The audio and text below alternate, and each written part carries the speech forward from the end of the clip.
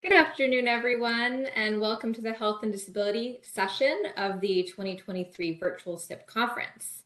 Uh, my name is Natalie Young. I am a sociologist in the Health and Disability Statistics branch here at the U.S. Census Bureau, and I'll be serving as chair of today's session. We'll be hearing from two presenters today. The first will, uh, will be a presenter who is going to talk about the topic of SSI student earned income exclusion. The paper's author, Shohair Ohanessian, is a PhD candidate in economics at the University of Illinois at Chicago. We'll then hear a paper on the topic of income volatility and health. The presenter for that paper, Julie Cai, is an economist at the Center for Economic and Policy Research. In addition to our two paper presentations today, we are lucky to have subject matter experts from both the U.S. Census Bureau and the Centers for Disease Control serving as discussants for our session. Adam Bee. will serve as a discussant for the first paper on SSI student earned income exclusion. Dr. Bee is an economist in the income statistics branch in the, uh, at the US Census Bureau.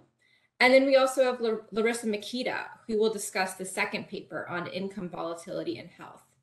Dr. Mykyta is a demographer at the Centers for Disease Control. She is also former chief of the Health and Disability Statistics branch at the Census Bureau.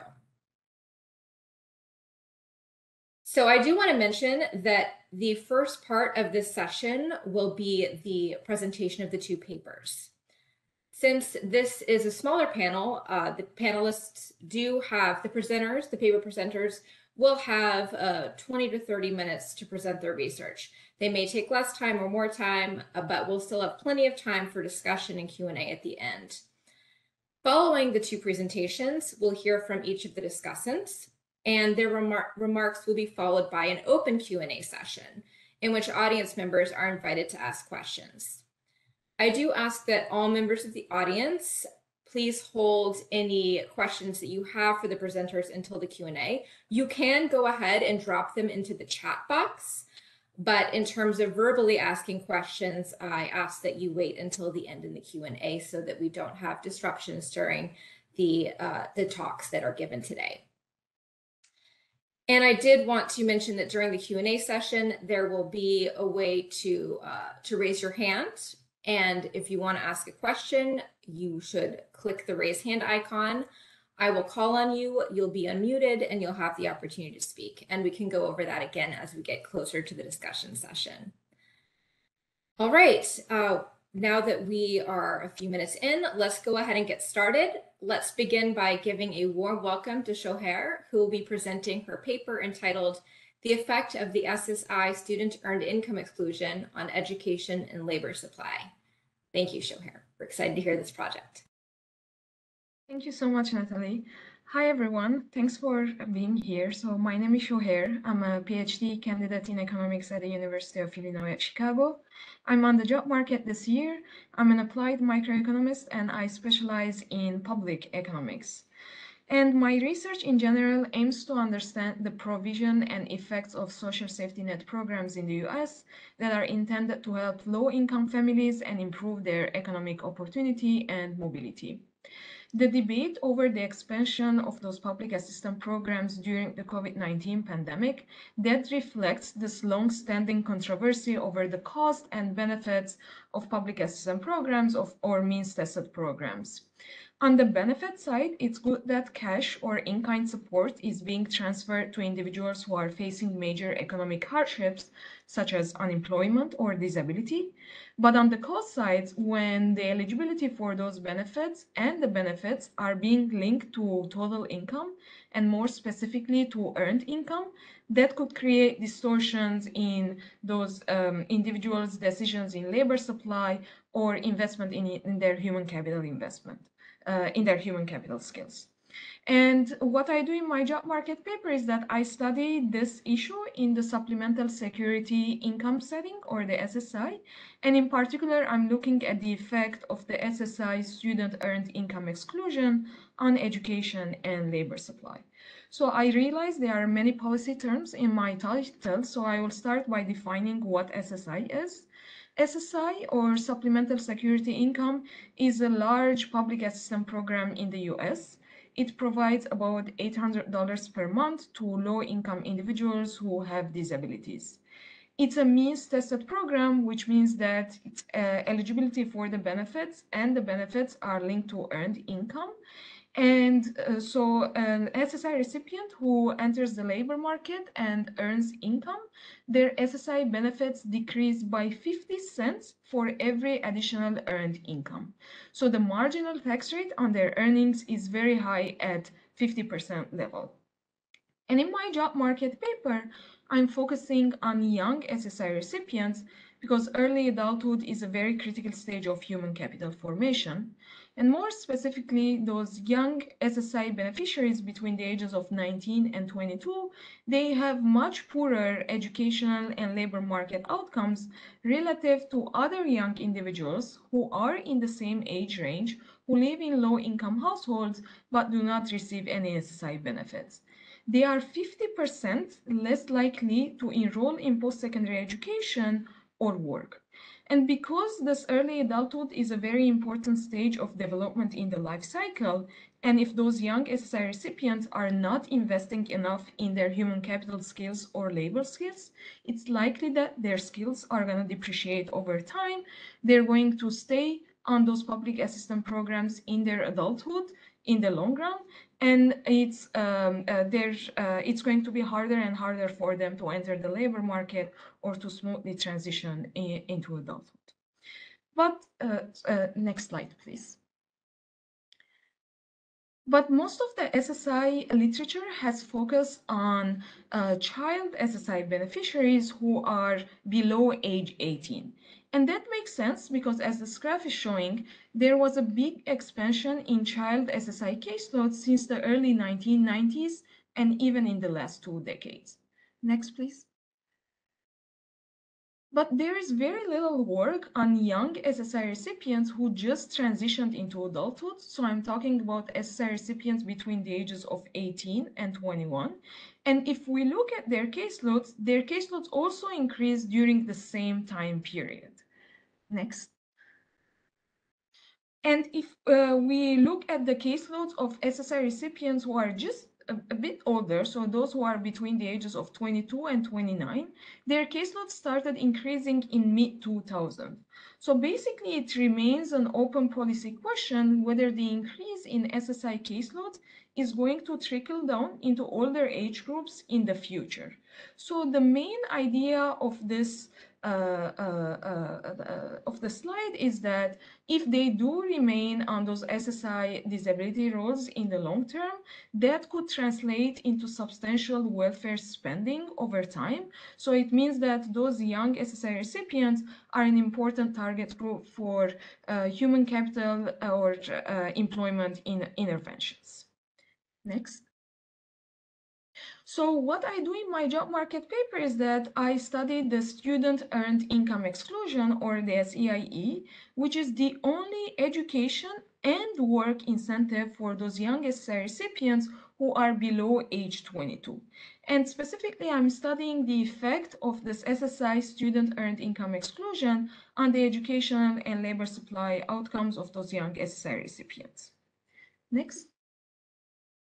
So now that the policy concern is clear is that those young SSI recipients, they can stay on those SSI disability rolls in the long term, uh, and uh, that could translate into substantial welfare spending. The question is, how can policymakers help those young SSI recipients to uh, incentivize, uh, help them um, uh, invest in their skills and uh, that could help them at some point transition smoothly into adulthood and uh, uh, realize economic uh, self-independence, uh, economic independence.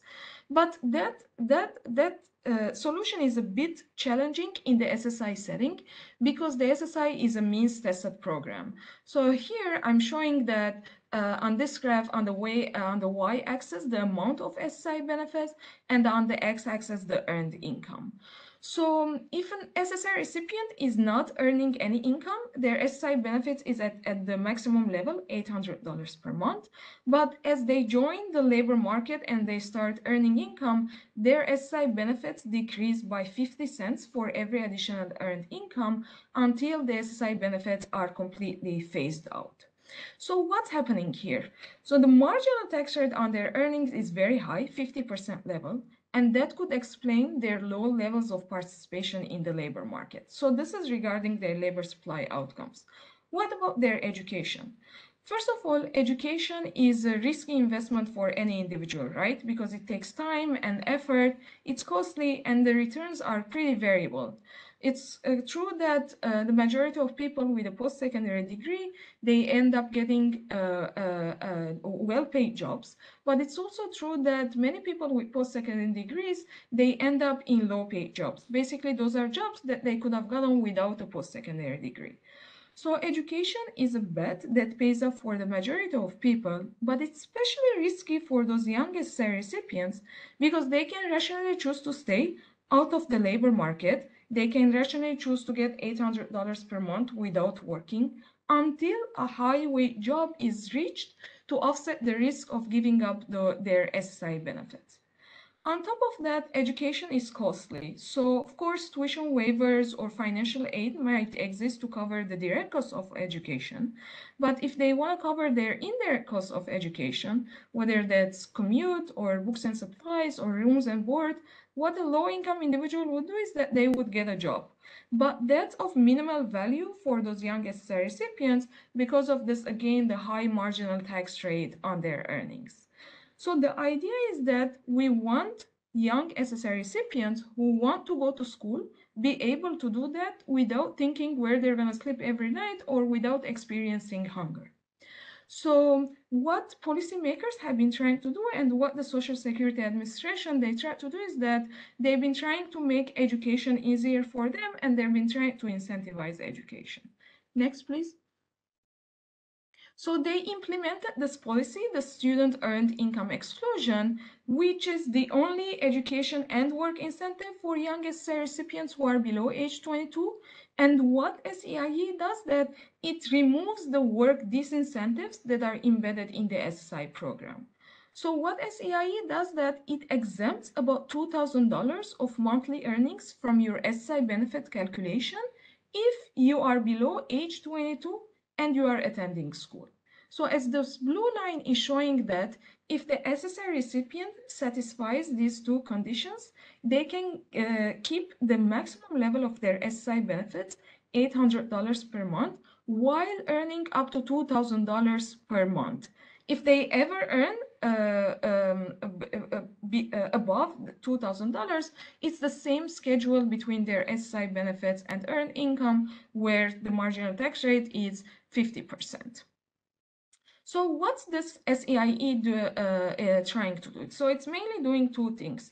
First of all, it's giving those young SSI recipients the option of labor market. Now that the cost and the risk of entering the labor market are lower, more SSI recipients would uh, participate in the labor market would test out their labor skills and learn about their preferences for job. So some SSI recipients who might have otherwise not entered the, the labor market, now they can realize substantial gains from uh, networking or uh, building work experience and work history. So this is the first thing that SEIE is doing. What about their education? So SEIE is acting like a school subsidy because the increase in their potential earnings or in their potential total income is conditional on them being enrolled in school. So it's, it's acting like a school subsidy and it's removing those financial constraints and liquidity constraints that those young SSI recipients face during post-secondary education. So that's why in my job market paper, I'm trying to look at the effect of this um, uh, uh, SEIE on the education and labor market outcomes of those young SSI recipients. So again, without SEIE, you're getting $800 per month. With SEIE, it's $800 plus $2,000, so which means $2,800 per month. So we're moving from a case to a case where your standards of living are being tripled and it hasn't been studied this in the literature and this is why we have to look at it because if it has any positive effects, it can turn out to be very important in this big shift of those young SSI recipients transitioning into adulthood. Next, please. So how do I look at the effect of this SEIE on, uh, on the outcomes of uh, young SSI uh, beneficiaries? I'm using data from the Survey of Income and Program Participation, or SIPP, which is a large nationally representative sample of US uh, households. It focuses on uh, low-income households and collects rich information about them, such as their participation in public assistance programs, and, uh, uh, and one of those uh, programs is the SSI or Supplementary Security Income. And what's cool about SIPP is that I'm able to distinguish the exact household member who's receiving those SSI benefits, which is quite different from other surveys where the SSI benefit is only defined at the household level and not at the individual level. On top of that, uh, SIPP provides very detailed information about individuals' age. So I get to see their birth year, but also their birth month, which is very crucial to my identification strategy, as I will explain in the coming slides. Uh, but uh, uh, um, I mean, SIPP also provides the outcomes that I that I am interested in, the education and labor force variables, and in addition to that, I have their demographic characteristics and state of residence. So I'll explain my methodology in, in the next slide. Um, be, so, so yeah, sorry, before I uh, uh, talk about my uh, methodology, I just want to mention that my main sample is individuals who are getting positive um, um, uh, uh, uh, SSI, positive number of SSI benefits, and who are around age 22, so 12 months below age 22 and 12 months above age 22. And in the first section of my paper, I'm limiting my sample between 2001 and 2004, because after 2004, uh, there was a change in their SSI uh, benefit calculation. So I don't want to get into that just to keep everything as clean as possible. But before 2001, the financial incentives were much lower because the amount of the uh, monthly earning exemptions, as I mentioned, it was $2,000, but before 2001, it used to be only $400. So my main uh, sample is between 2001 and 2004. If I have time, I will go and explain what happens before 2001 as well. Yeah, so here I'm just showing a summary stat uh, uh, table where in the first column I have those young SSI recipients who are around age 22. In the second column, I have young individuals who are in the same age range but who are not receiving uh, any SSI benefits, but they do live in uh, uh, low income households. And my main outcomes are school enrollment, participation in the labor market, or uh, uh, more specifically, employment rate, and this joint outcome that the policy that the student earned income exclusion it's targeting because it's incentivizing them both to be employed and also enrolled in, uh, enrolled in school. So I'm looking at this uh, uh, joint outcome. I also look at the intensive margin of their labor supply, monthly earnings, and uh, weekly hours, and I also have access to their covariates.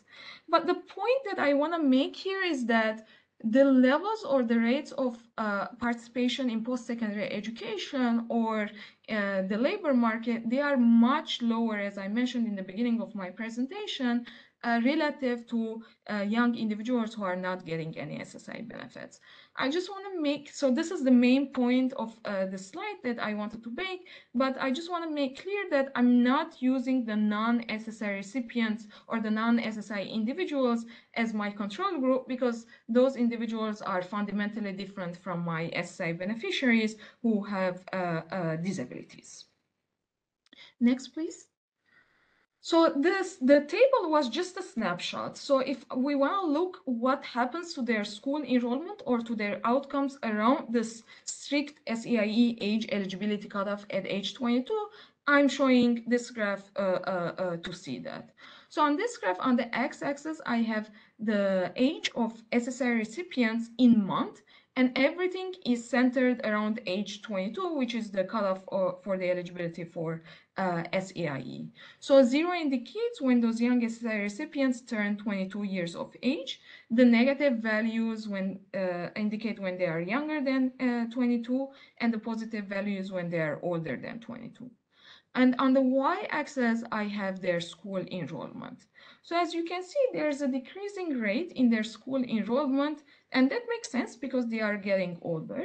But once they cross this age 22 cutoff, where they lose the eligibility for this work and education incentive, their uh, school enrollment decreases by about 8.6 uh, percentage points.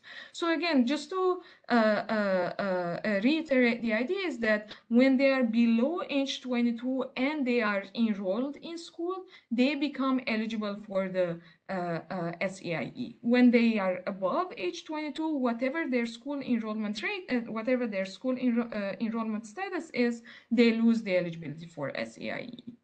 So a question that you might ask is that what if they're um, uh, graduating and they're not really uh, uh, um, uh, uh, dropping uh, out of school?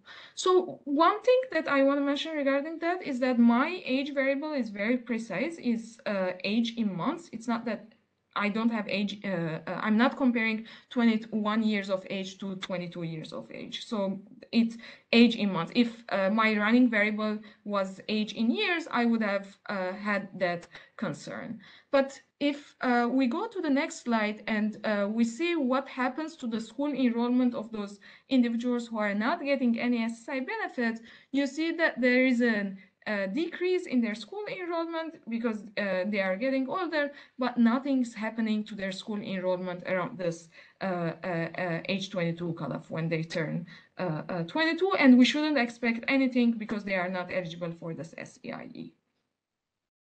Next, please.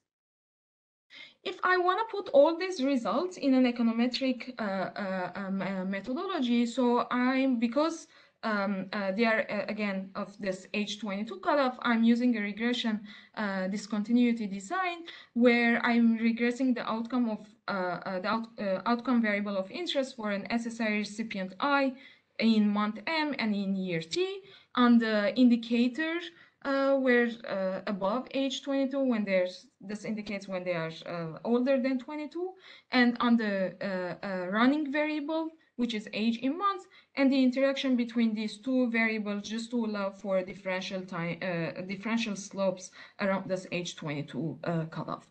I just want to mention that um, uh, SIPP is uh, the, the survey that I'm using is conducted in panels. So every three, four years, there's a new panel and individuals are being tracked over time.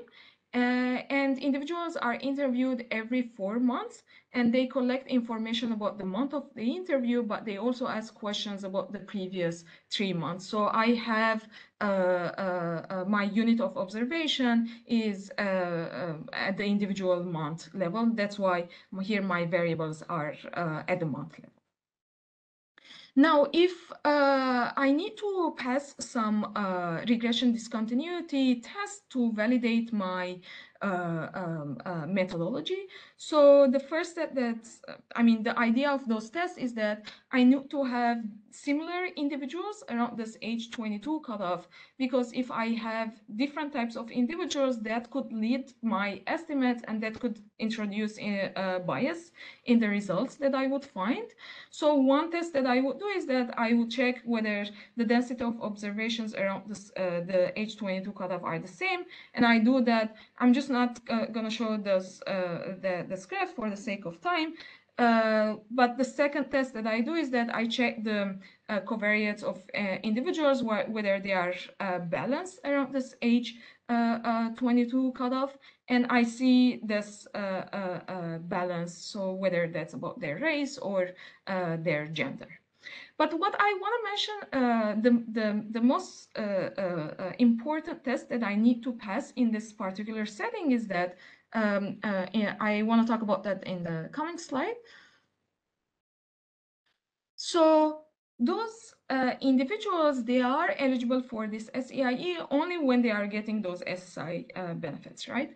So some individuals might be more, so might manipulate their SSI benefits, their SSI status before age 22 to become eligible for this uh, SEIE. So first of all, in theory, it's very hard to manipulate the timing of, of the receipt of your uh, SSI benefits because it takes time uh, uh, to become eligible for SSI benefits. Uh, you have to pass some uh, medical tests and some other income tests. So it takes time. So you cannot really uh, manipulate the timing of the receipt of your SSI benefits. And the other thing is that it's uh, uh, very uh, risky to come on and I mean to be on and off of uh, SSI benefits because once you're out of uh, you you disqualify of this program, it's very hard to come back. But this is in theory. I still check whether they are manipulating their SSI status around this age 22 cutoff. And here I have a similar uh, graph where on the x-axis I have their age and on the y-axis I have the share of individuals who are getting uh, SSI benefits. And I shouldn't see uh, any discontinuity or any changes in the in the receipt of SSI benefits around age 22. If I do see that, it means that they are manipulating the receipt of their SSI uh, uh, benefits, and that could create problems in my uh, uh, uh, methodology. So next. Yeah, so as I'm showing here is that, as you can see, around age 22 cutoff, there isn't anything, there, there's nothing happening regarding their Ah, SSI status. If anything, there is an increase in the share of population getting SSI benefits. So I validate this test as well. So, uh, I mean, I pass this state. So all these tests, whether it's the density uh, test or the uh, uh, uh having the covariates, the, uh, the covariate balance test or this test, they justify the regression discontinuity methodology. So now I can talk more, about the Uh, uh, uh, results and the effect of this of the effect of the eligibility for SEIE. Next slide, please. Okay, so here I'm showing what's happening to their school enrollment once they lose the eligibility for SEIE. It's a similar graph that I showed in the descriptive uh, part of my paper, but I have uh, uh, the slopes here. So as you can see, once they are crossing this age uh, 22 cutoff, their school enrollment rate is uh, uh, sharply decreasing. Next, please. Now I test this uh, uh, uh, robustness of my, or I test this estimate, the 8.4 percentage points around different specifications. So the first column is showing the same number that I showed in the previous graph. Now in the second column and the third column, I'm uh, trying to see whether there is anything happening regarding the seasonality of the school enrollment, or uh, anything is being driven by changes in SSI benefits across states, or anything is being driven by their uh, uh, uh, characteristics or demographic characteristics. And as you can see, the estimates in columns one to three are pretty constant. they are in the same direction and they are all statistically significant. So losing SEIE eligibility is causing a decrease in their school enrollment by about 8.6 percentage points. And I also check whether this estimate is uh, um, uh, leading to, um, I mean, it's showing us similar results when I expand the bandwidth. So in the fourth column, I expand the bandwidth from 12 months to 24 months. The estimate is uh, showing this, uh, I mean, it has the same uh, implication. It's smaller that, and that's because uh, I'm looking at a, a, a, a bigger panel, basically. Next slide, please. So now that I talked about the effect of the eligibility for SEIE on uh, uh, school enrollment, I will talk more about their uh, labor supply outcomes. So again, losing SEIE eligibility is causing uh, a decrease in their employment because once they cross this age 22 cutoff, they are again subject to this 50% marginal tax rate on their earnings. So what's happening is that their employment rate is decreasing by about 8.4 percentage points, but that's mainly driven by their part-time enrollment, as you can see in the second column, and not uh, from their full-time enrollment as shown in the third column. In next slide, please. Now here, if I want to show graphically what's happening to their uh, uh, part-time enrollment, again, there's this big discontinuity in their part-time enrollment once they cross this age 22 cutoff. They are, uh, it's uh, uh, uh, noisier than the school enrollment because you can see that they are um, leaving their uh, the, uh, this uh, labor market right before they are turning age 22. I'm still exploring what's really driving that, but this is what I have for now. In the next slide, I explore more whether um, um, there is any effect on the intensive margin of labor supply.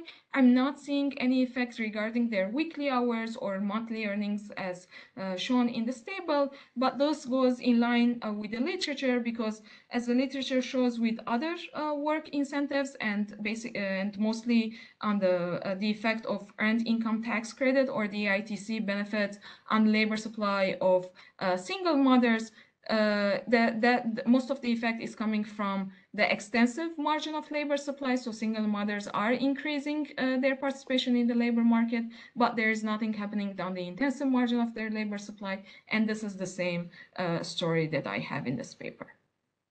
Next slide, please. But the, the main outcome that the policy is targeting is this joint outcome where uh, because it's uh, it's it's a simultaneous incentive for uh, for those young SSI recipients to both participate in the labor market and also enrolled in school.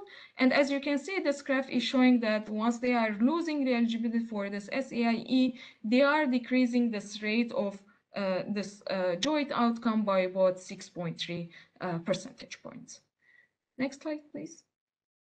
Yeah, so here in the first column, I showed the same estimate that I showed in the previous uh, graph, but just to make sure that uh, um, I, the, the, the, this is what the policy is exactly targeting. I look at the outcomes where only one situation is being realized. So in the first column is that when they are only working, and in the third column when they are only uh, only enrolled in school. And I'm not seeing much happening there, and this validates that indeed this uh, policy is targeting this uh, uh, uh, uh joint outcome when they are both employed and also in school. Next slide, please. So I'm left with uh, one minute. What I want to mention here is that I do some uh, robustness checks. So the, the first robustness check that I do is that I do the same analysis, this RD analysis for individuals who are not getting any SSI benefits. I shouldn't see any discontinuities in their outcomes, and I don't.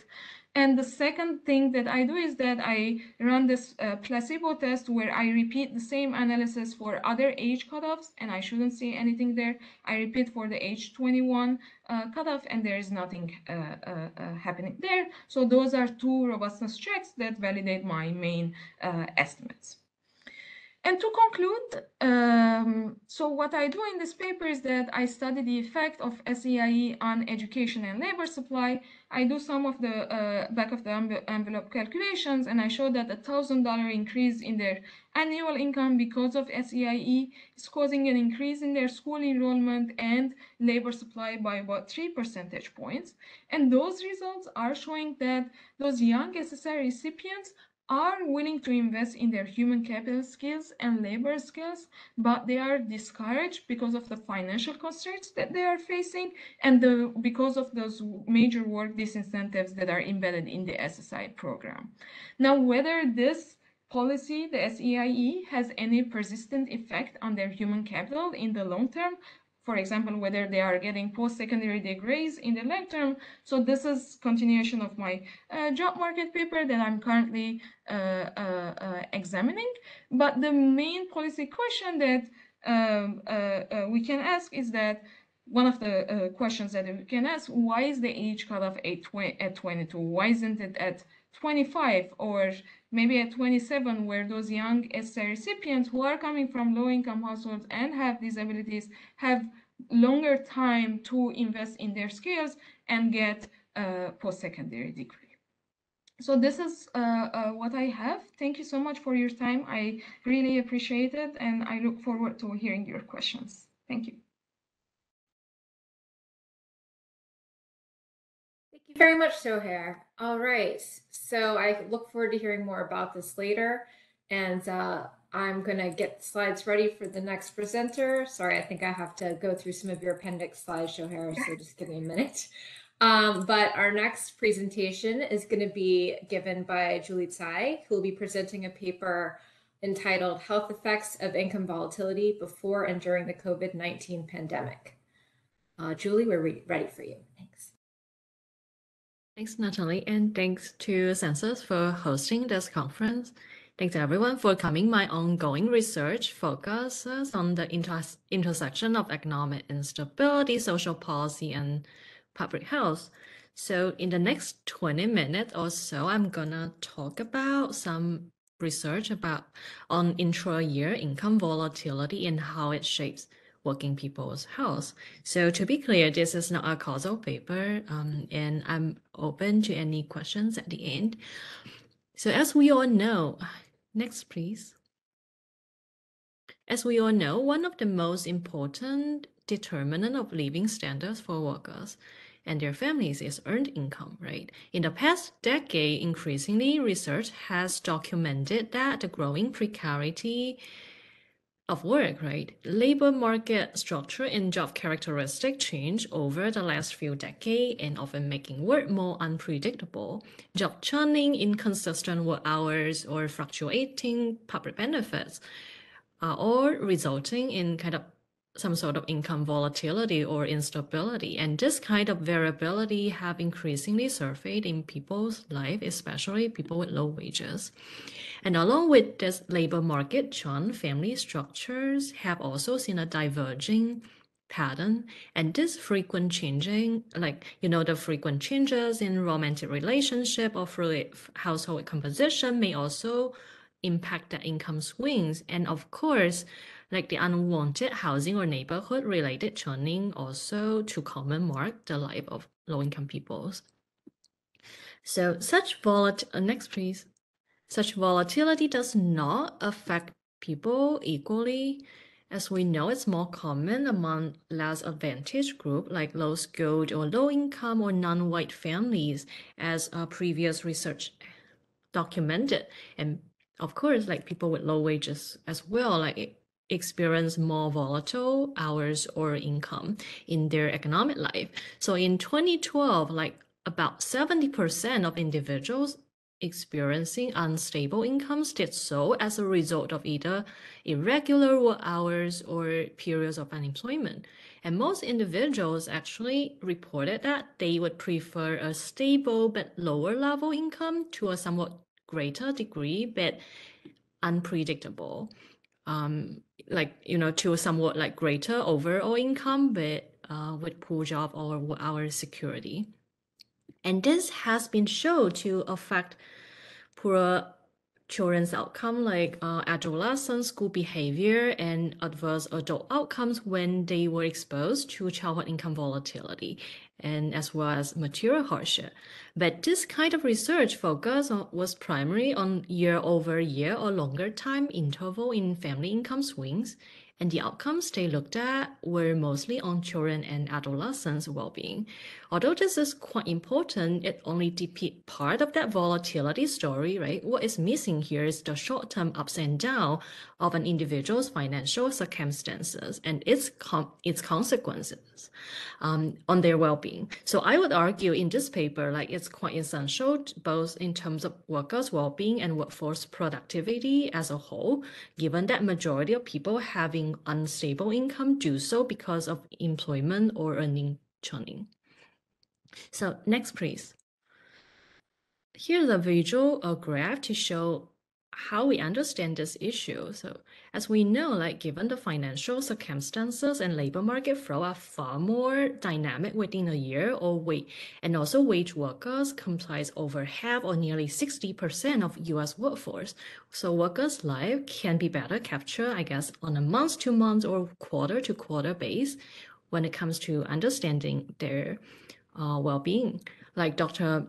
Robert Moffitt just mentioned earlier, one major reason why there has not been enough attention on intra-year volatility is that month-to-month income data is not very widely available. So for example, like because now we are on a SIPP conference, so I don't really need to sell the SIPP data. And, you know, it's very attractive to study this kind of within year uh, volatility or instability.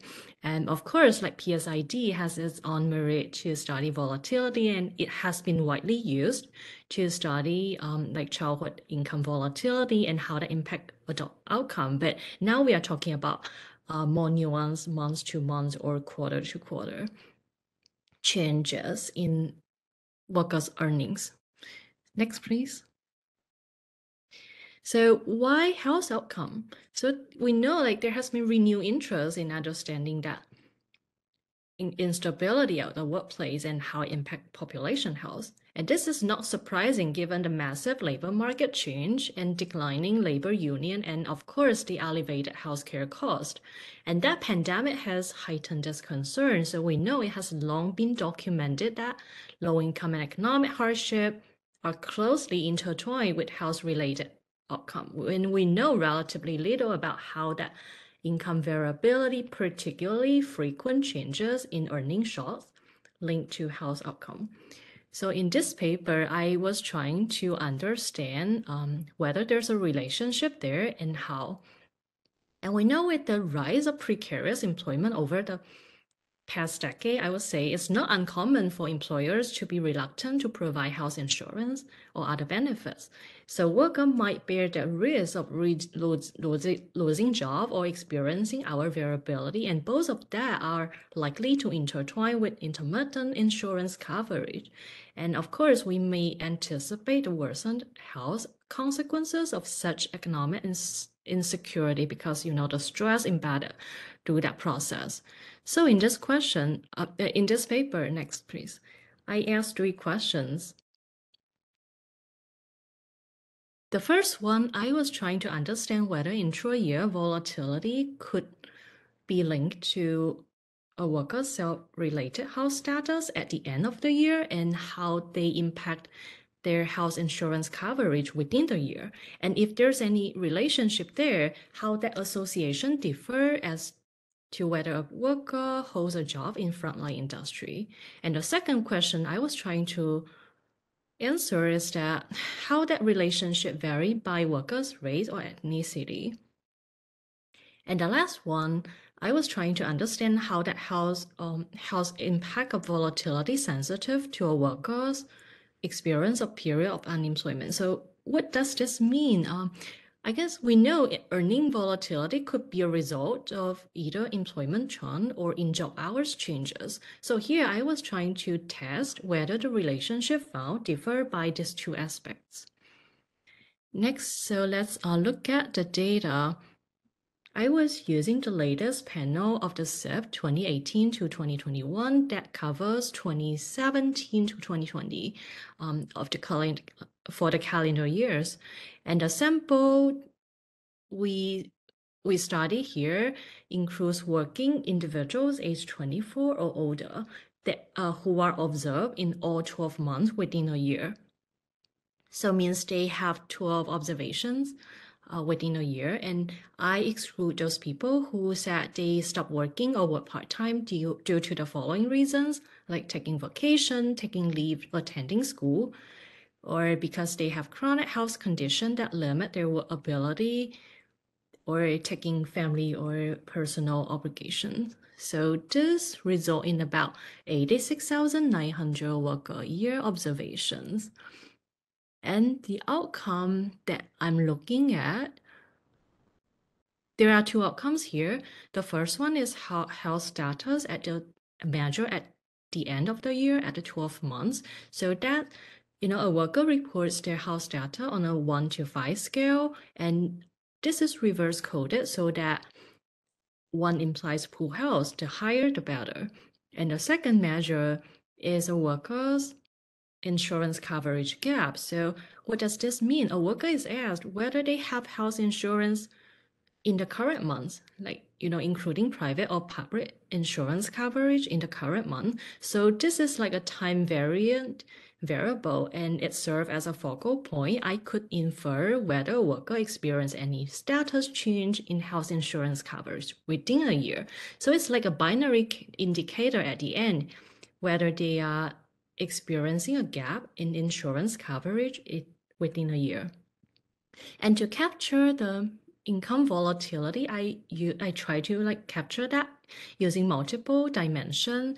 So the first one I did is to measure it using the standard deviation of odd percent change to capture the variability, the magnitude of that volatility. And this has, this has been widely used uh, by a lot of scholars that um, uh, who studied volatility before a decade ago.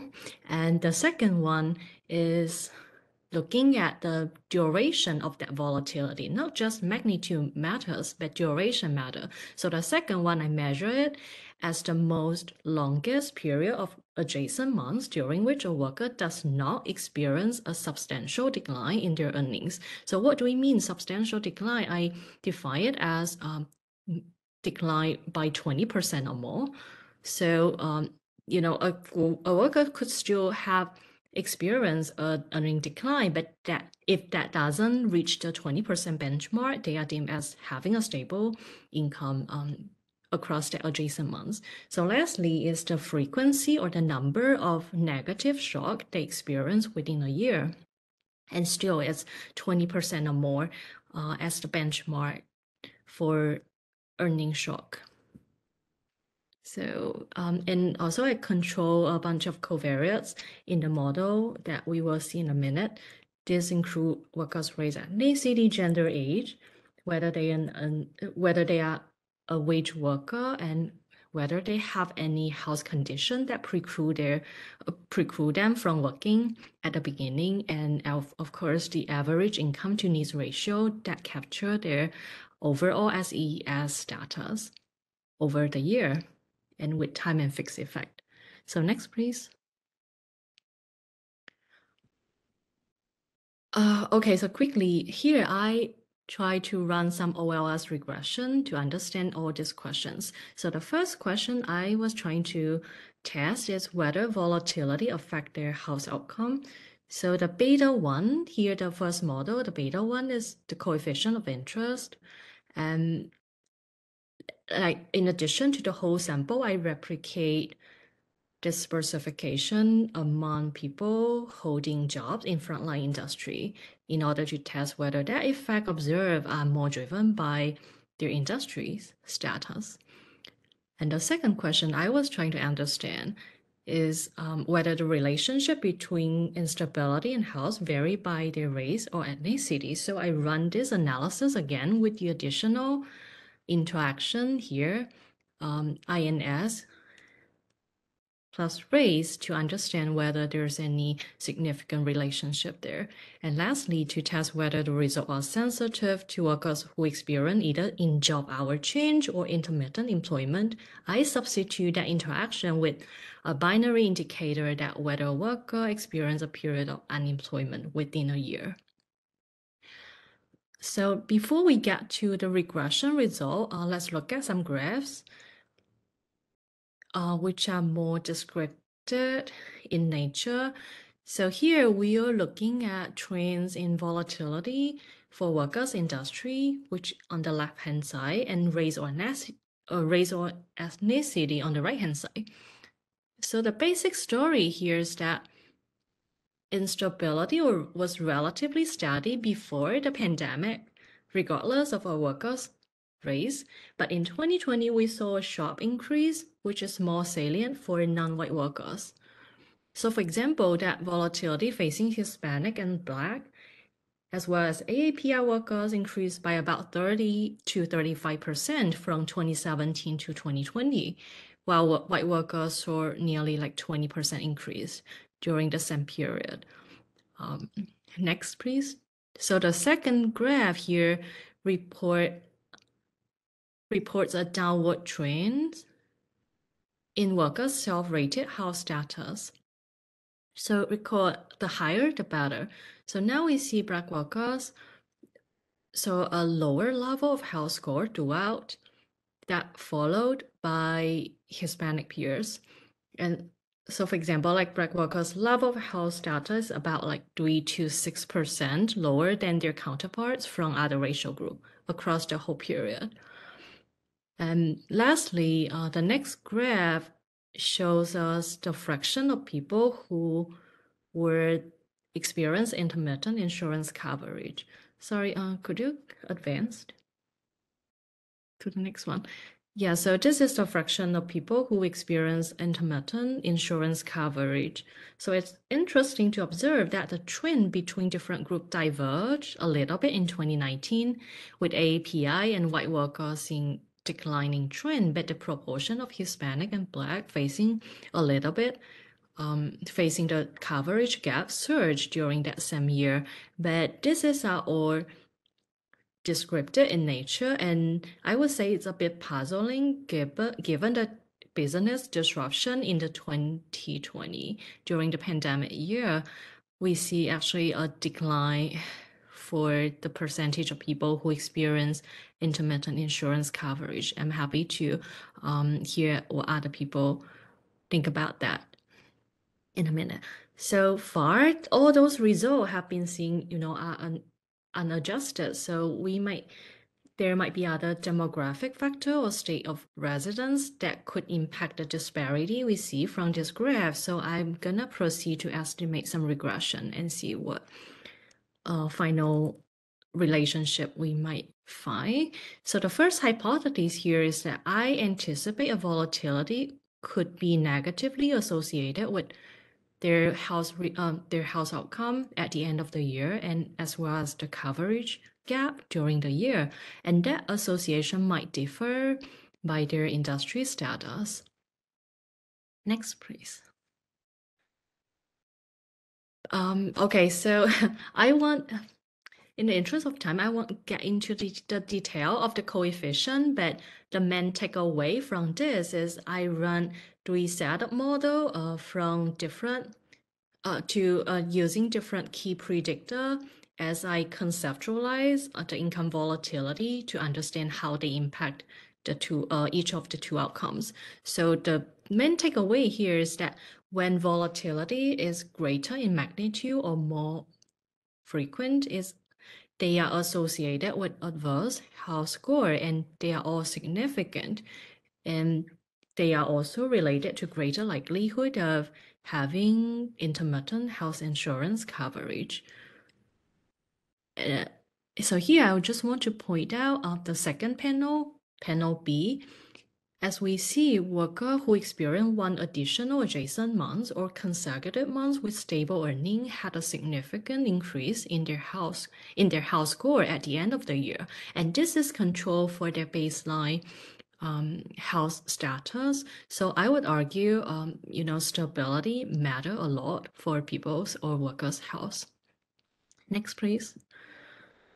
So the second question I was trying to test was whether that volatility relationship vary by workers' race or ethnicity. And the next table that we are looking at shows that actually the volatility, uh, so the Hispanic plus volatility coefficient is significant, it is significant. So that implies that when facing greater volatility, Hispanic workers have a significant lower self-rated health score, and this is significant. And also, they are having higher probability of having they are having higher probability to experience insurance coverage gap. And for the intermittent insurance coverage gap, we also see black people were having a higher likelihood to have the event when facing volatility, greater vol volatility. And lastly, we next please. Lastly, I try to understand whether that relationship vary by their in-job hour change or intermittent employment status, but I do not find any evidence on that. None of the interaction coefficients are significant.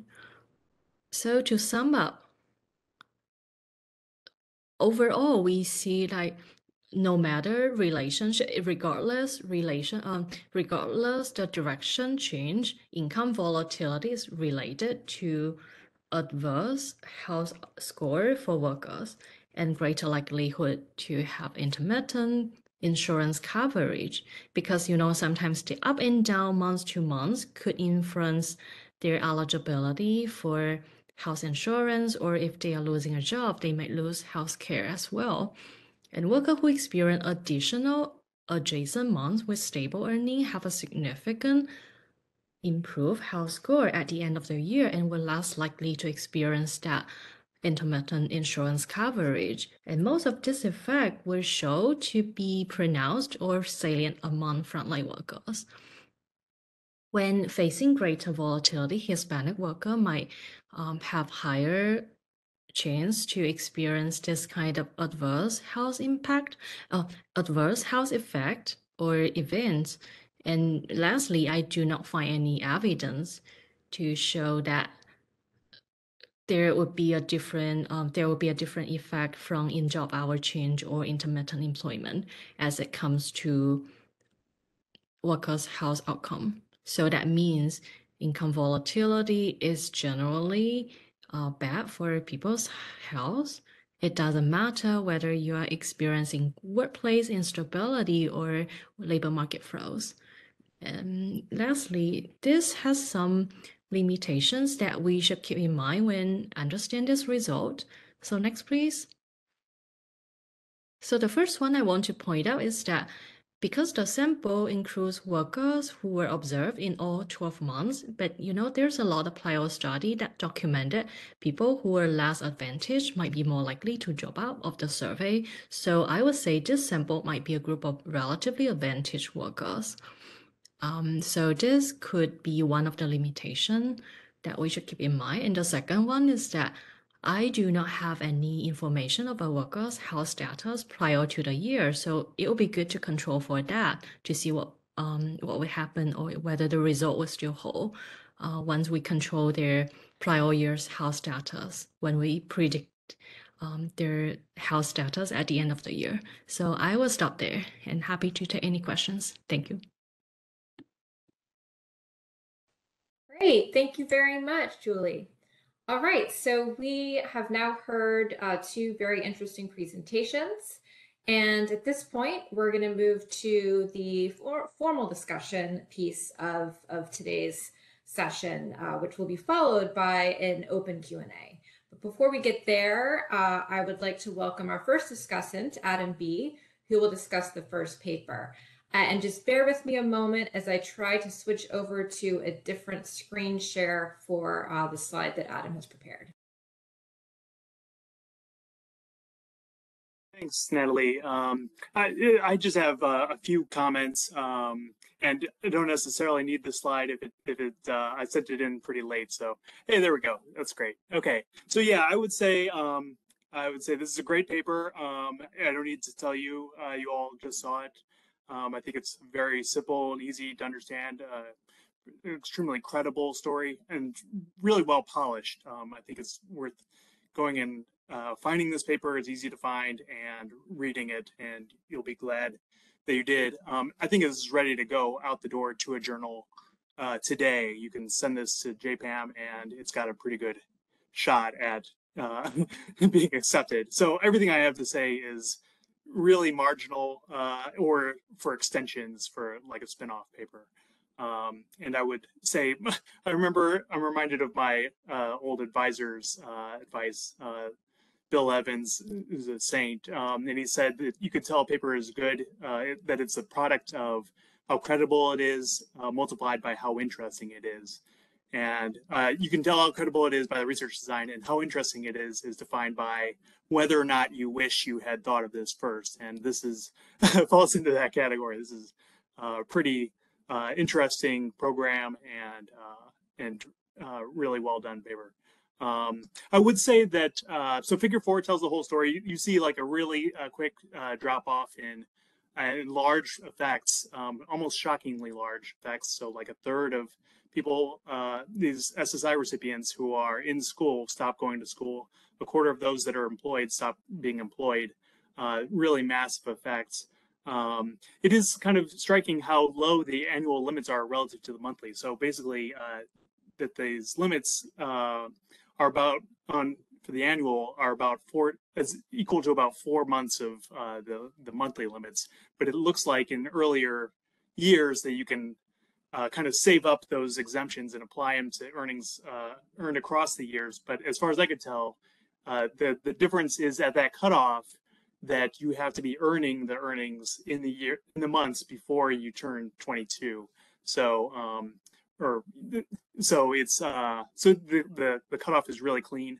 I did kind of like wish for a little bit more of that um, nitty gritty detail of like how often do these uh, recipients have to validate their monthly earnings and how do they do this. Um, but these are the sorts of like institutional details that a referee would like request and then insist be put into a web appendix. And I don't think it would like prevent them from, uh, you know, I don't think anyone would like reject it. They would just say like, I want to revise and resubmit. And then this would be like a really minor revision. Um, uh, I would say, uh, so these are like really small numbers on this margin. Um, but they are like the poorest of the poor, and as, as you showed, they're growing uh, quickly. So it's a potential, uh, certainly gets a lot of like policy interest.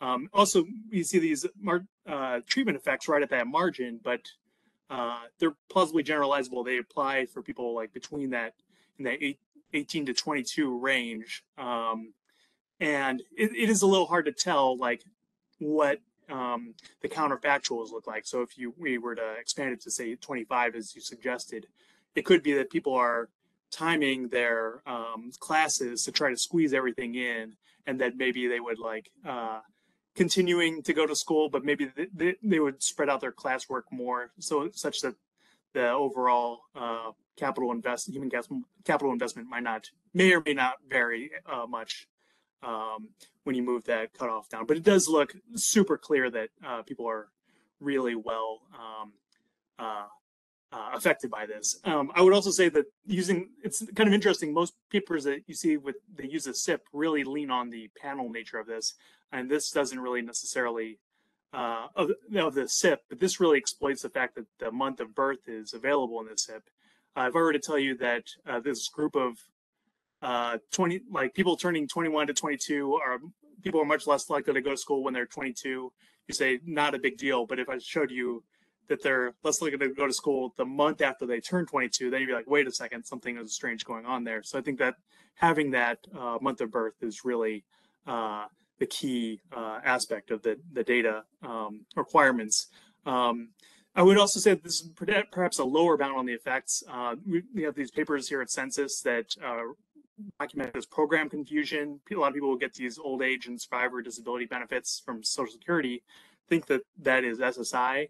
Um, and given that SSI is such a small program, then the people identified as SSI in the SIPP are, uh, in fact, so that's more of a problem for old people for sure. But there's also like these survivor and disability benefits uh, that can apply to people who are younger um, though often they cut off at 18. So it's hard to say how much that matters here, but if anything, it would only support it because you're sort of scrambling the treatment and control uh, groups a little bit at that. I, I, would say that I think that the um, the analyses that lean on the difference in difference um, method more than the event studies, so that do bring in that that non uh, SSI population. I think you do credibly identify uh, parallel trends. Um, so, so you said like the you, and, and in the paper you kind of like uh, put those to the side but i think that that is uh, actually a little bit more credible when you see that it's so smooth across that cutoff for the non-ssi population um, you could potentially uh, reduce the non-ssi population to be like um, maybe like lower income or from lower income areas or something but uh, or households, but uh, I don't. I thought it was pretty good as is. One concern I might have had would be around like seasonality of birth. That there's this um, really well documented feature that pe- winter babies have like lower uh, uh, socioeconomic outcomes. Uh, so you want to kind of make sure that samples are balanced across birth months. Um, so it's possible, you know, that the school year ends in the summer, people can sort of take summer classes. And for this program, you, as long as you intend to go back, you still qualify for those months. Um, so it doesn't matter too much, but you would kind of think that maybe that there's some uh, potential um, uh, uh, problems around that seasonality of birth. Uh, but uh, you could potentially use the CPS and the ACS to investigate these. So uh, internally, I'm a little spoiled. At Census, like we have access to, the, and you can request access to the dates of birth um, and months of birth in a FSRDC project. But they do have quarter of birth, and I do think that using just year of birth was fine in the uh, difference in difference um, specification.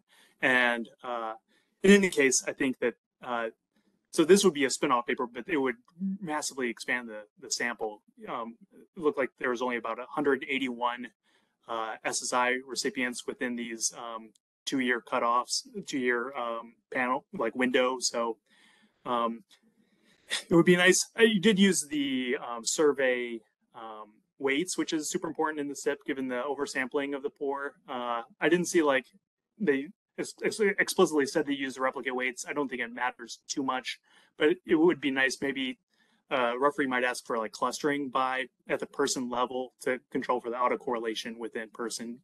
Each of these person month um, observations is not necessarily independent from the other person months within the person. Um, so, uh, but not super duper important. I think it's a pretty clear and massive uh, effect. Um, this last thing I that there's very few papers at all about this program, kind of shockingly given how important it seems to be. Uh, there's this one, the only thing I could find was this one paper from 2010 uh, written by uh, Social Security Administration economists and published in the Social Security Bulletin. And it has like some nice aggregate stats. It suggests that um, they seem to think that uh, that EI, this SEIE eligibility is uh, in the like 20, 2004 to 2005 period. It's not quite the same, but that they thought that it was lost by leaving school at age 22. But I think your work pretty clearly shows that people are um, anticipating potentially that they're going to lose this eligibility and then uh, finishing up their schoolwork potentially, or um, so that these uh, outcomes are perhaps co-determined. Um, so uh, that's uh, these are maybe some like uh, things to add in or not, uh, but I think this is a great paper and I, appreciated the opportunity to read it. Thanks. Thank you so much, Adam. Thank you. I really appreciate this. Yes, thank you, Adam. All right, so I'm gonna, I'll, I'll give everyone, um, I'll give Shohair a moment to respond in a bit. First, um, I think it would be good to hear from our second discussant, and then I'll turn it to the two presenters in case they have anything that they wanted to respond to from the discussants. So um, bear with me as, as I switch over the slide deck again, but Laryssa Mykyta will be uh, presenting remarks.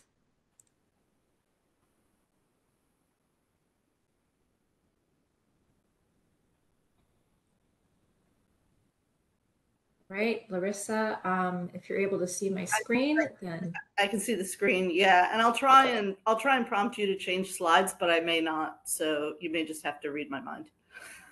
Um, okay, so first of all, I really appreciated the opportunity to read and discuss um, Julie Cai's promising and ambitious paper, uh, Health Effects of Income Volatility Before and During the COVID-19 Pandemic. Um, so just to, just in sum, Julie Julie really laid this out very well, but to remind everyone, um, she used the 2018 to 2021 SIPP, which references years 2017 to 2020 to examine associations between summary measures of month-to-month earnings volatility, so kind of intra-year volatility, um, with both self-reported health and health insurance status. I'm thrilled by this paper for a whole bunch of reasons. One, she's examining intra-year volatility, and that's exactly the kind of sort of short-term volatility and transition that SIPP was originally designed to capture, but which, as she points out, or as she pointed out, hasn't often as often been examined, maybe um, at least not recently. Her discussion this afternoon laid the motivation for the paper uh, in terms of precarious work and in terms of the consequences of family and economic stability on sort of other outcomes. But I think this paper, what another thing that excites me about it is that it also speaks to kind of this literature on working conditions and health outcomes more generally, including kind of the seminal works by Marmot and Wilkinson, but uh, more recent work by the sociologists Schneider and Harknett in um, with their Shift project work. And so I'm really looking forward to see seeing how this project develops and how this paper comes along. Um, I did have several thoughts and reactions as I read, and I'm going to start. I'll try and start with some general comments um, and move to more specific comments or concerns. I do have one nitpicky comment about the title, and that's that it really doesn't capture what the paper does. Um, it's really a paper about earnings volatility and not income volatility. She makes that really clear in the text of the paper, but the title is still income volatility.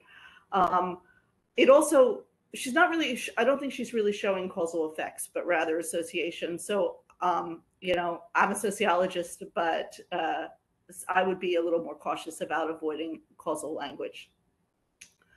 Um, Okay, COVID, the, the period. So the data presented were collected before and during the COVID-19 pandemic, but there wasn't really a discussion of how the pandemic and the effects of the pandemic on data collection um, and potential non-response might impact the results. I, I, think it's been particularly challenging to make sense of trends over the course of the pandemic using survey data, and I really commend her on her efforts to do this. Um, and especially sort of during 2020 and even 2021, um, given changes to survey data collection. So, you know, while the results presented were kind of preliminary, I think I think in the next iteration it'll be important to grapple with how the trends observed might have been impacted not just by COVID itself, but also how the data or the results might have been impacted by, you know, the data collection changes uh, um, that COVID the necessitated. Um, it also begs the question, and I'm really curious, I think it's an interesting question of whether and how this association between earnings volatility and health in the period that, that Julie examines, uh, which included both economic shocks, right? You know, there's kind of the pandemic recession, but also this big health shock uh, differs from other periods. And so that might be something worth exploring as well. You know, not in this paper, I'll come to that in a minute, but um, just to see do these or the how how are these some of these associations different across time? Um, the other thing and I, I, know she brought up the puzzle of 2019 in some of her graphs and i was pretty struck by that too. So i would really encourage kind of look taking a look at the technical documentation of the SIPP on the data for each year. Uh, 2019 also faced challenges in collection um, you know there some other ideas too for what might be going on but that seems like uh, um, enough of a blip that uh, I would look a little bit. I would I would dig into the data a little more. Um, when I went through the the paper and I was reading through the research questions, I couldn't help but wonder. And I do this a lot, uh, but it really struck me with uh, Julie's ambitious paper: is is this one paper or is it more than one? And so with this paper, I think the answer is most definitely the latter um, she sets out these four research questions um, impact of any volatility, differences for frontline workers, differences by race and ethnicity, and differences by kind of this job, employment shock as a source of volatility. But I think there's so much more to unpack with each of those that I think it could easily easily be three full length interesting papers. Um, I really liked that she looked at a bunch of different dimensions of volatility, uh, um, including, you know, experience of any earnings volatility, the duration of the earnings volatility, and the source of earnings volatility, uh, which she kind of looked at by sort of this earnings shock versus other sources. But I found myself like really wanting more and wishing that there was more here on, you know, I don't know if the data doesn't allow it or on source of the volatility, right? Because if you think about earnings volatility over the course of a year, it might come from several different sources, which she acknowledges. One is job loss, one is kind of change in work hours despite stable employment, right? You could you could have very kind of volatile work hours. um, and that would lead to that would lead to earnings volatility. Um, gig work or seasonal work. Seasonal work, you might expect some volatility, and so your your outcomes might differ if it's expected versus unexpected. I think that's what she was trying to get at with this sort of unemployment shock. But I'm really kind of interested in those workers that, you know, as a matter of course of of their employment, their hours and earnings vary, right? It's not just they lose their job, but their their hours and earnings vary like week to week. Um, okay so that was that was one thing. The other thing is i've really been kind of thinking about the the health insurance coverage and transitions in coverage over the past few years. Um, health insurance it's a measure of access to care and well-being and not a, not really a measure of health itself. It's important to to look at yes but i think that in part because it's it's tied to employment for many but not for all workers it feels a little circular to look at earnings volatility and then this loss of coverage um, and I also wasn't really clear how um, individuals who had no coverage for the whole period were treated versus those who were covered the entire year. So I, I, couldn't tell whether she's only kind of measuring this gap, this loss or gain in coverage, and then which direction, right? I think it's also important to kind of consider that there are transitions between coverage types that might not show up as a loss of coverage um, but but maybe analytically important in and of themselves, losing private coverage for public, or you know going in the other direction as well. And finally, you know, health insurance coverage isn't just related to your own employment and your own earnings, but it may you may have coverage through another family member. And so I'm not sure whether whether or how this was considered in the analysis. Um, so I think I would really focus a paper on the health outcome and then examine health insurance coverage separately because um, there i think that there are kind of a bunch of little thorny thorny measurement issues that uh, might need to be addressed. Um, i had a couple more specific question uh, comments about measurement and controls. Um, one is you know the 20% cutoff for volatility made sense and yet for me a 20% decline in monthly income might be experienced differently at different ends of the income distribution. So maybe incorporate some robustness checks that look at different cutoffs. I don't know whether whether you've tried that or um, what you would think about that. Um, frontline workers, I think, is is tricky, right? Because um, one, I think you could write a separate paper on frontline workers, but I don't. I, I'm really sort of not clear on the definition of a frontline worker. And I know you cite uh, a paper by Hardy, whatever, but I'm not. I'm also not sure that frontline is being conflated here with essential workers. Um, I'd look to analysts at Census uh, Industry and Occupation Branch or uh, the BLS to try and get a little more consensus. I also think, and I, this is, I think this is a disciplinary um, thing. Uh, whether you're talking about, I mean, you seem to be talking about industry, and I'm wondering whether occupation matters more here, right? So industries are sectors, occupations are jobs, and these are very different. So I think about the, even just like thinking about the health and health related services industry, your work life is going to look very different if you're a hospital administrator or if you're a home health care aide. And so there it's like, is it the, is it the industry or is it the job? Um, so I really, um, I would really encourage you to kind of think think about job as well as industry. Uh, you restrict the sample to age 24 and older. Often we look at educational attainment that's measured at 25 and older, um, and I, I just wasn't sure why 24 was chosen. You know, on the one hand, yes, folks maybe finished college by then, but um, I, other than that, I wasn't sure why 24 versus 25.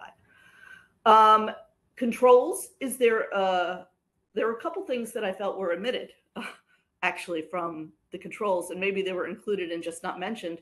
First and foremost, marital status. Um, I think this. I think you absolutely need to control for marital status in in your model. Uh, it's associated with health, both health outcomes and health insurance coverage. Um, and uh, you might also consider controlling for other sources of income, but I, I'm not, you know, wedded to that or I would also really, really be interested. I mean, you look at race, but I'd really be interested in seeing interactions by race and gender. Um, as well as I had already kind of mentioned uh, more exploration of differences by the source of volatility. But I think you might you might unpack some interesting findings by by looking at it through a lens of race and gender. Um, you say that you couldn't get health status in the prior year, but I think I thought that it's collected each year in SIPP, um, self-reported health. So I would just take a look at that. Another thing that, you know, when we work with SIPP sometimes, or uh, uh, I know that some of the HDSB analysts have thought about this quite a bit, is um, I don't know whether you looked at all at uh, by who was reporting, right? Um, self versus a proxy report, right? Because if you're asking about health status, uh, does it does someone reporting their own health look different from somebody else reporting that person's health. So you might want to just look at that as a sensitivity analysis down the road. Other than that, I think this is a great paper with a lot of promise. I'm really excited about it. Um, and I hope that my comments were helpful. Thank you. Thanks so much, Laryssa. All right, so we have um, reached this the segment of this session where we can start opening uh, the the Q and A to the audience. Um, it is 2:20. I know we end at 2:45. So before I start gathering questions, I might. I'm thinking that I'll give the the two speakers five minutes to uh, respond in any way that they might want to to the discussants. So um, Shohair, do you want to go first? Is there anything that you wanted to say in response to those comments? And again, please try to keep anything to uh, five minutes so we can move to open Q&A. Yeah, yeah, thank you. Yeah, th I just want to thank Adam for uh, all the comments. I really appreciate it. Uh, I'm definitely uh, trying to work on the seasonality of uh, the um, uh, birth months. So I'll definitely incorporate that uh, uh, in my paper. And then the second thing that I want to mention, whether I uh, I can replicate this with the CPS or the ACS with the restricted uh, uh, version of those um, surveys, I, will make sure to get in touch with you to know more about the procedure to get access to those surveys. And it would be great uh, to repeat the analysis just to have um, uh, to validate the results uh, with those. Yeah, thank thank thank you so much for everything. Yeah. Yeah, no problem. Um, yeah, the, the, ACS has quarter of birth in, in yeah. the public use files, and CPS has year of birth. So would require like using the public use would still be a would still work with the difference in difference design, but um, okay. yeah, it would okay. definitely be much better with a like an RDC uh, proposal. Yeah, yeah, yeah, yeah. Thank you so much, Emma. Thank you. Great. All right. So, Julie, uh, would you like to take about five minutes to respond to any of the comments you received from Laryssa? Oh yeah, uh, for sure. And thank you, Laryssa, for this wonderful comment. And it's they are all well taken. I was so busy taking notes. And I, yeah, I mean, there's a lot to respond, but I guess the, yeah, I would need to delve deeper into the coverage outcome. Like you said, perhaps that would uh, lead to another paper uh, that separately look at health insurance. Yeah, I agree. I mean, there could be a lot of going on, or they might have the coverage to other family members, not uh, through them, not through their employer directly. So I guess one thing I might do, just try to control for whether there's other family member change job, uh, like within a year. I mean, that's just like one thing that popped in my mind at this moment. But, but yeah, definitely I would need to think more about that insurance coverage um, and the duration within a year. Um, and then another thing, yeah, I mean, a lot of sensitivity check that I need to do um, like you said, the cut off of uh, of the substantial earning decline. Uh, perhaps I could try like 30% because I thought like 20 is like a benchmark people usually did. But yeah, uh, yeah I, I would have to do maybe like 30 or 33% um, as well to test that. And yeah, the control, true. I mean, yeah, I, I sorry. I mean, I didn't, yeah, I forgot about marital status of course. I, I think yeah. such an important um, predictor or covariate there. And also the the occupation. I thought maybe like industry or occupation, that debate would perhaps that would lead to another paper. I was just um, thinking, I told myself maybe I need more motivation to think more about why I want to focus on industry, like frontline industry. And but I know um, they are the people who kept us safe and you know keep the economy running uh, at the beginning of the pandemic. So that's what like one of the motivation I thought I would just try to focus on those essential workers. But I know there's a lot of different definitions how Yes. we define.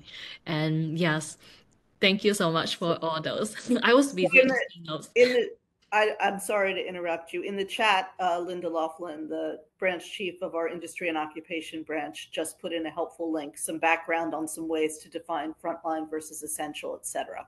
So if you take a look at the chat and copy the link, um, you'll have that. And I'm happy. I know that I threw a lot at you all at once, uh, and I'm happy to send you uh, my comments in writing. All right, thank you so much, Laryssa. Great. All right. So um, I'm excited to continue the conversation, but with a larger group of people as well. So at this time, we will open the discussion to the audience as well for Q&A. So if you have a question that you would like to either uh, ask verbally, uh, you can click the raise hand function in WebEx, and I'll just need to call on you so that you will be unmuted. Alternatively, you can pop a question into the chat and I'm trying to monitor it so that I can read anything that shows up. Um, yeah, feel free to ask questions.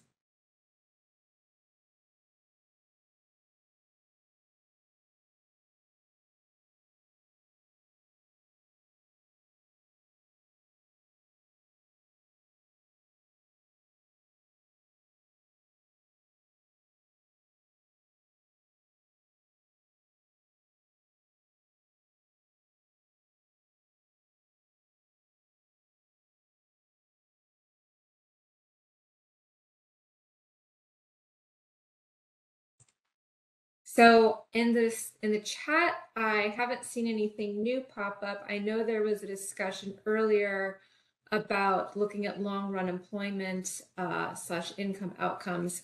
I didn't know if either the person who had asked the question, Richard, if you wanted to elaborate at all, or if uh, Shoher, you wanted to uh, add anything to your response to that question.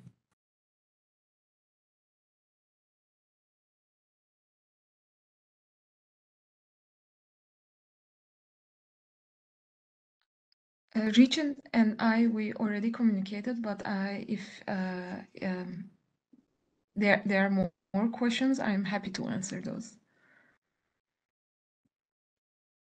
Thank you. All right, so I assume that if I'm not hearing anything from Richard, then his question has been fully addressed. Great. All right, so I believe this session ends at 2:45 officially, um, but you know, if we don't have a bunch of additional questions, of course, I will let uh, folks leave early. So please, uh, if you have questions, raise your hand. Okay, I do think that I see a couple of raised hands right now. Um, and please do bear with me because I am figuring out this technology today as well. So I think actually Richard does have his hand raised. So um, if someone could unmute Richard, then we can uh, hear if he had some additional questions.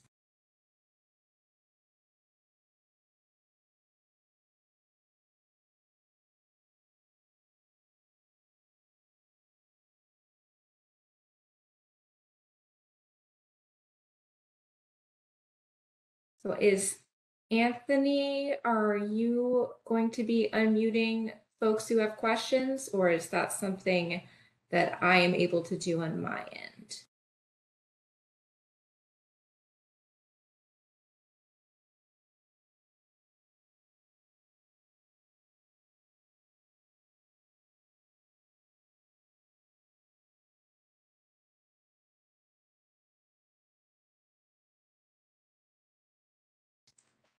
I apologize, folks. Uh, I was under the impression that the technical team uh, would be unmuting folks. Uh, this is my first time chairing a session in WebEx, so I am not familiar with whether I am able to do the unmuting. So if folks have their hands raised, um, let's see if I can give it another shot. Is, is it possible to unmute Andrew Soto? I know that he also had his hand raised. If not, I might ask people to pop their questions into the chat. And again, apologies for uh, the technical um, challenges here.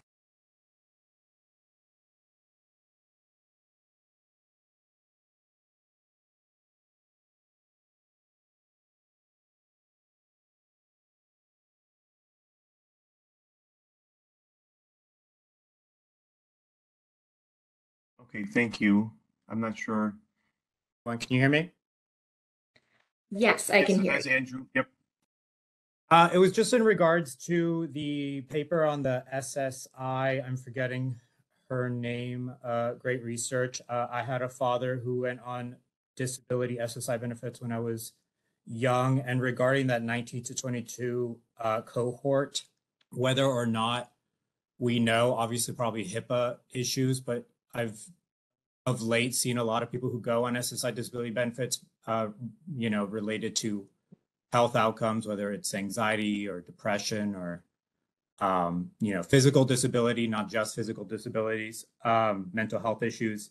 And now with COVID, you've got long run COVID issues and it'll probably grow. Of course, you know, she mentioned um, attain educational attainment. We know you can't be independent until you're 24 for FAFSA. Um, and whether or not just she knows that 19 to 22 cohort, why um, they are on just ha- receiving those benefits. I don't even know if SSI has that kind of anonymized data to scrub the PII and just say like they are receiving these benefits, you know, X amount for whatever reason. Great research. Thank you. Thank you, Andrew. Uh, so what I'm trying to do right now is that to identify the di- the disability type that they have.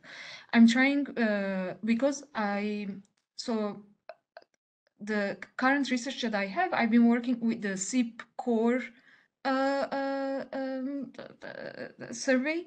But what I'm trying to do is that I'm trying to bring in the topical modules of uh, SIPP to get access to their uh, disability type. Uh, one thing about this topical mo module is that I get to see their disability type uh, only in one uh, period in time. So it's like in, in a given month. So I cannot track it over time. Of course, that's that's not uh, uh, a major issue because if they have a major disability, it's it's it it might be uh, long lasting. So yeah, uh, I really appreciate your question. So I'm trying to work on that to uh, match that topical modules with the core modules to get access to uh, uh, their disability types and to talk more about uh, uh, those. But what I can say is that um, there is very little work on um, describing the disability types of those young individuals, those especially the ones who are between ages of 19 and 22. Uh, there are some studies done by the um, um, um, uh, Mathematica Center, uh, and uh, they show that, I mean, they are interviewing those young SSI recipients and also older ones. And what they're showing is that the younger ones, as you mentioned, uh, it's not the case that they all of them have physical disabilities. It's many of them have mental disabilities that so the, the idea of that report is that the, the main conclusion is that 73% of those young SSI recipients, they consider employment as a near future goal. And they say that they are able to do physical activities outside of the house. And they feel much healthier than older compared to um, uh, older or a bit uh, uh, uh, older uh, SSI uh, recipients.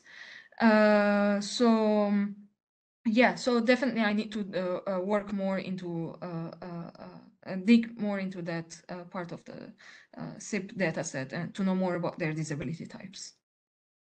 Yeah, thank you so much. Great, thank you.